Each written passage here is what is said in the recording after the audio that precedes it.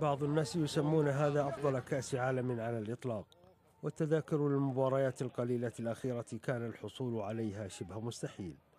ولكن بالنسبة لمن لديهم الاستعداد للدفع فإنه توجد سوق سوداء مزدهرة وغالية جدا. اشتريتها ب 450 جنيها استرلينيا ولكن ذلك كان على حساب أمي.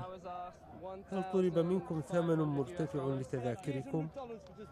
ثلاثة آلاف وثمانمائة دولار لتذكرة واحدة. أي إعادة بيع لتذكرة في كأس العالم بأكثر من سعرها الأصلي تعتبر غير قانونية ولكن السلطات البرازيلية اعتقلت عصابة تتهمها بالوقوف وراء فضيحة على مستوى كبير.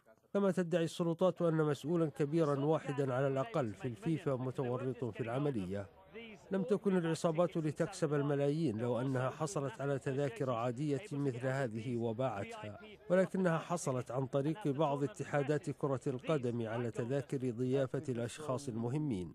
لدينا تذاكر من اتحاد كرة القدم البرازيلية من اتحاد كرة القدم الإسبانية من اتحاد كرة القدم الأرجنتينية. لدينا تذاكر أشخاص مهمين. ما هو رد فعل الفيفا على ذلك؟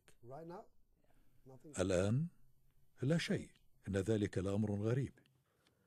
المتهم الرئيسي هو مهمادو فورفانا الذي يتهم بأنه حصل على ألف تذكرة لكل مباراة.